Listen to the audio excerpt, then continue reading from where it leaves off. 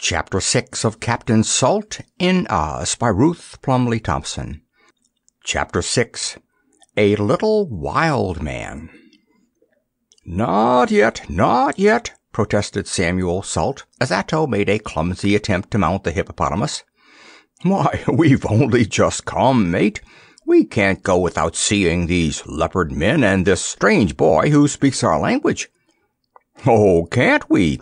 Drawing in his breath, Ato made a flying leap at Nikobo, and this time, managing an ear hold, pulled himself determinedly up on her moist, slippery back. Goodbye, Samuel, said the king with a firm wave of his hand. If you bring any leopard men back to the crescent moon, you can discover yourself another cook. No leopard men. Mine now? Oh, you needn't worry about that, the hippopotamus closed one eye and smiled knowingly to herself. Thoroughly annoyed by the desertion of Ato and the superior grin of the river horse, Samuel snatched a long rapier from his belt and glowered belligerently around him. Shiver my timbers! You think I'm not strong enough nor smart enough to fight these savages? Uh, where are these leopard men? roared the former pirate in such a reverberating voice the monkeys fled silently to the treetops, and even Roger put his head under his wing. "Gone, all gone!"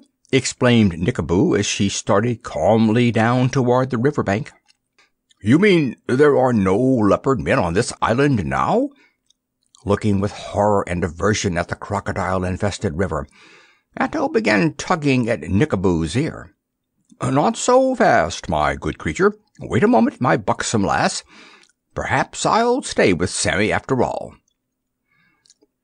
"Well, just as you say." With scarcely a pause in her stride, the hippopotamus turned round and waddled amiably back to the strip of sand where Samuel Salt stood staring sternly into the jungle beyond. "That is a great disappointment to me, mates sighed the captain of the Crescent Moon, mournfully wringing out the lace ruffles of his cuffs. To have taken a leopard man back to the court of Oz would have been an achievement worth the whole voyage. Now that's where we're different, murmured Ato, settling into a more comfortable position on the back of the river horse. I myself would rather be disappointed than speared by a savage, and I don't care how many leopard men I miss seeing. Rather be spared than speared. Ha ha! Tee hee hee! Ato chuckled from sheer relief. Shall I fly back to the cabin for some more Oz flags? Roger flapped his wings inquiringly. If the leopard men are really gone, then Patrippany Island is ours without a spear thrown. That's so, mused Samuel Salt, thrusting his rapier back into its sheath and beginning to show a little interest in the island itself. Fly ahead, my hearty. And bring back some ship's biscuit, called Ato. All this diving and mud turtling has left me weak as a fish. And while we're waiting for Roger, perhaps Nikobo will tell us a little about these islanders. Were they little or big, black or brown?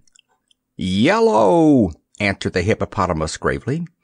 Big and yellow with brown spots all over their hides. They had brown hair, mane and eyes, and rough, snarling voices.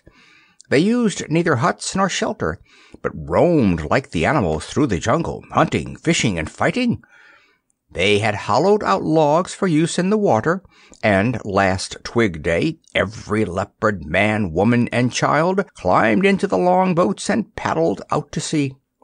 Shortly afterward Nikobo's eyes grew round and shiny at the mere memory. Shortly afterward a great hurricane arose, and my family and I, watching from the mouth of the Big and Little River, saw the boats and men swept under the waves. Some of the logs floated back to the islands, but the leopard men and women we never saw again. Not even one? exclaimed Samuel peevishly. Not even one, Nikobo assured him solemnly. And to tell the truth, the hippopotamus flashed a sudden and expansive sigh. It is much better and safer without them. The one problem is the boy, and I've been feeding him myself. Oh, yes, the boy who speaks our language, mused Samuel, still lost in bitter reflections of the leopard men he should never see face to face. What have you been feeding him? asked Ato, suspiciously. How would a hippopotamus know what to feed a boy? I do the best I can, said Nikobo in a hurt voice. Every day I collect fresh roots, herbs, and grasses for him. Roots, herbs, grasses? Oh, merciful mustard! A boy's being fed on roots, herbs, and grasses, Sammy. Did you ever hear of anything more ridiculous in your life? No worse than spinach, mumbled Samuel Salt. But say, look here. The Royal Explorer of Oz raised his arm imperiously. What is a small boy doing on this island? How'd he get here in the first place, and where is he now? Follow me, directed Nikobo in a dignified voice. Follow me, and you shall know all. As Roger appeared at that moment with the Oz flags and biscuits, the little procession immediately got under way, Ato calmly riding behind. On her many visits to the strange boy, Nikobo had worn a path through the tangled growth of vines and bush. Tenuous trees dropped their branches over this path and stretched out their gnarled roots to trip the unwary traveler. Several times Roger let out hoarse squeals as a huge snake, coiled along the limb of a tree, thrust out its ugly head. Gaudy flowers from the vines that closely entwined every tree filled the air with damp, sleepy fragrance, and Samuel Salt, darting his eyes left and right, held his blunderbuss ready for any savage beast that might spring upon them. But the jungle creatures, thinking the leopard men had returned, slunk further and further into the green shadows, and without any mishaps or encounters, Nikobo brought the explorers to a small clearing in the whispering tangle of green. Here they were suddenly confronted with a stoutly built cage, its bars constructed of saplings, yet scarcely an inch apart. On a heap of grass in a corner of the cage crouched the lonely figure of a little boy clothed in a single leopard skin. Well, goose wing my topsails, panted Samuel Salt, deceived at first by the leopard skin. A little wild man, a leopard boy, as I'm a salt sea sailor. It's nothing of the kind, Nikobo contradicted him sharply. Can't you see he is white and has teeth as straight as your own instead of tusks? He's not like the leopard men at all. But who put him in this cage? What's he done and what's he doing here? Slipping off Nikobo's back, Ato pressed his face close to the bars of the strange prison. I am waiting for my people to come and rescue me, stated the boy, rising with great dignity from his bed of grass. Folding his arms, he looked haughtily out at the explorers. Who are these men, Nikobo? he inquired sternly. Why have you brought them here? Because they seemed friendly and speak your language, puffed the hippopotamus, beaming lovingly at her little charge. Because I thought they might break these bars and set you free. They have a hollow log seventy times as large as the hollow logs of the leopard men. In this they could easily carry you over the waters and back to your own people. I've tried to break this miserable hutch dozens of times, explained Nikobo, turning to Samuel Salt. But the saplings are sunk so deep I've been afraid I'd crush Tandy as well as the cage if I pushed too hard. Quite likely, said Samuel Salt, rapping the bars with his knuckles. We'll have to fetch an axe from the ship. But who shut you up here, little lubber, and how long have you been prisoner on this island? Five months and a half, answered the boy, after consulting one of the bars in the corner of his cage. I've made a nick in this bar with my teeth for every day I've been here. Well, that's over now, you poor child, you. Ato's voice shook with indignation as he looked in at the little boy, whose every rib showed plainly under the skin. In fact, a heap of grass and dried roots in the cage made the kind-hearted monarch shudder with distaste and sympathy. You shall come with us and eat like a king, he promised, nodding his head cheerfully, and learn to be an able-bodied seaman to boot. Instead of looking grateful or pleased, The boy whom the hippopotamus had called Tandy merely stood looking between the bars of his cage. "Why should I go with you?" he said finally and wearily. "You look wild and dangerous to me, and far worse than the Leopard Men. Here at least I have Kobo to take care of me, and who knows what further perils and hardships I shall suffer at sea. "Ho, ho! And how do you like that, my lads?" Roger rocked backward and forward on Samuel Salt's shoulder. "The young one speaks truly. If you could but see yourselves, my hearties!" Now both Ato and Samuel had forgotten their plunge in the river, but with their hair and clothing still covered with mud and slime they looked the veriest rogues and rascals and while Ato regarded himself with embarrassment and discomfiture, Samuel took a quick step forward. "So!" roared the great seaman angrily. "So you don't trust us, eh? Well, stay here if you wish, and grow up like a monkey. You look like a little wild man already." "Stop!" Nikobo quivered all over with resentment. "You must not call Tandy a wild man." "Don't mind." The boy drew the leopard skin around him with quiet dignity. "I can bear it. I have borne far worse. I can bear anything. I am a king, and the son of a king's son. Tell them to go away, Kobo." "Now, now, now! Uh, this is nothing but nonsense!" Ato clapped his hands sharply. "However we look, my young squab, you are in good and royal company. My mate here, Captain Salt, is Captain of the Crescent Moon, Royal Explorer of Oz, and a knight besides. I, though at present a ship's cook, am King of the Octagon Isle, and Roger here is as royal a read bird as ever wagged a bill and wing. If you say you are a king, we will have to believe you, though 'tis hardly credible. Ato stared with round eyes at the matted hair and dirty body of the little prisoner. If you say you are a king, we must believe you. But in return you must believe us and stop all this hoity-toity talk and clishmaclatter. He speaks the plain truth. Nikobo pressed her huge snout close to the bars. Even I can detect the signs of royalty in this fat and goodly person whom I just this morning helped out of the river. You must go with them, Tandy, and they will carry you back to your own kingdom. But I tell you I'd rather stay here with you, wailed the little boy, relaxing a moment from his kingly and overbearing attitude. Roger, fetch the axe.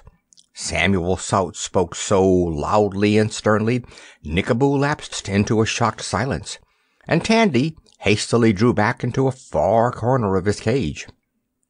Never argue with a sea-going man, whispered Ato, winking solemnly, as Roger flew off to obey Samuel's order. Having settled the matter in his own mind, Samuel turned his back on Tandy and began to examine, with deep interest, the fungus growth on one of the gnarled old trees. So you really are a king? Leaning against the huge body of Nikobo, Ato folded his hands comfortably on his stomach and regarded the boy in the leopard skin earnestly. Now, what country do you hail from, and what do they call you at home? I am Tazander Taza of Ozamaland, announced the boy proudly, the land of the creeping bird and flying reptile. Ozamaland, on the long continent of Tarawa, is my home. Ozamaland! shouted Samuel Salt, swinging round like a teetotum. So there really is such a place. I have always said so, Ato, but no one would believe me. Lies to the east of here, doesn't it, sonny? And it's twice as large as any known land bordering on the Nonestic. Somewhat impressed to find that Samuel Salt knew something of his homeland, the little boy nodded. And do you suppose we could snare one of those creeping birds and flying reptiles if we managed to reach Ozamaland? Grasping the bars of the cage, Samuel peered anxiously into the young king's face. "Do you suppose we could ever reach Ozamaland?" sighed Tazander, returning Samuel's eager look with gloomy aloofness. "Do you know that a ship has never touched our shores?" Then the crescent moon shall be the first, cried Samuel Salt, snapping his fingers joyfully. Why, this will be tremendous, and the most momentous discovery in a thousand years. But how do you happen to be so far from Ozamaland yourself? asked Samuel Salt immediately afterward. Did you come by air or sea? That I cannot tell. Tazander seated himself soberly on a log before he continued. One night I was sleeping soundly in my tower in the White City. Next thing I remember I was here in this jungle. The leopard men, wild and savage as they were, fed me, when they remembered, on raw fish and chunks of hard, bitter bread they made from the roots of the brima tree.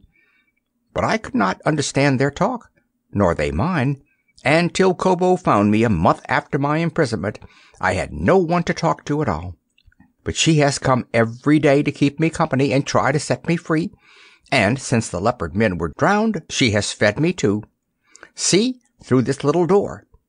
Tazander opened a small door in the bars and stuck both hands through.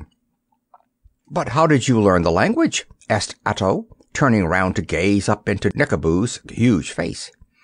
"I don't know," said Nikobo with an excited gulp. I just started to say hello, and instead of saying it in hippopotamy, there I was talking a strange language which I could understand as well as my own. And in this language Tandy answered me, much to my delight and pleasure. Strange, very strange. Ato shook his head in a puzzled manner. Well, all I say is, it was lucky for this little fellow that you happened along and once we have him aboard he'll soon forget all the hardships and unpleasant experiences. I'll never forget Kobo, said the young king, backing stiffly away from the outstretched arms of Ato. And Kobo'll never forget you, sniffed the hippopotamus. The talk of the river people seems dull and stupid since I've talked to Tandy. None of the herd really need me, and I don't know what I'm going to do. Ho, ho, ho. Rocking from side to side, Nikobo began to sob as if her heart would break. So violently, in fact, Samuel Salt covered both ears, and Ato, alarmed at the enormous grief of the gigantic beast, tried to put his arms around her. Here, here, begged the ship's cook, thumping her hard upon the back. Opening the bag of biscuits Roger had brought from the ship, Ato handed two to Tandy and began shoving the rest as fast as he could down the vast throat of the grief-stricken hippopotamus. After each biscuit, Nikobo choked and sobbed to herself, but on the whole they seemed to comfort her, and when the read bird finally returned with the axe, she watched him almost cheerfully as Samuel Salt, with well-aimed blows, demolished Tandy's jungle cage. As the last side crashed down, and without giving Tandy time to argue any further, Samuel Salt seized the boy firmly in both arms and set him down on the back of the hippopotamus. Then, giving Ato a hand up behind him, the captain of the Crescent Moon sternly led the way to the edge of the island. Roger, waving an Oz flag, flew ahead, screaming defiantly to the monkeys and parrots that infested the island. Way! Way! Way for the royal discoverer of Oz! Way for the king of the Octagon Isle! Way for Nikobo, little daughter of the Big and Little River people! Way for Tazander Taza, king and son of a king's son! Way! Away! End of chapter 6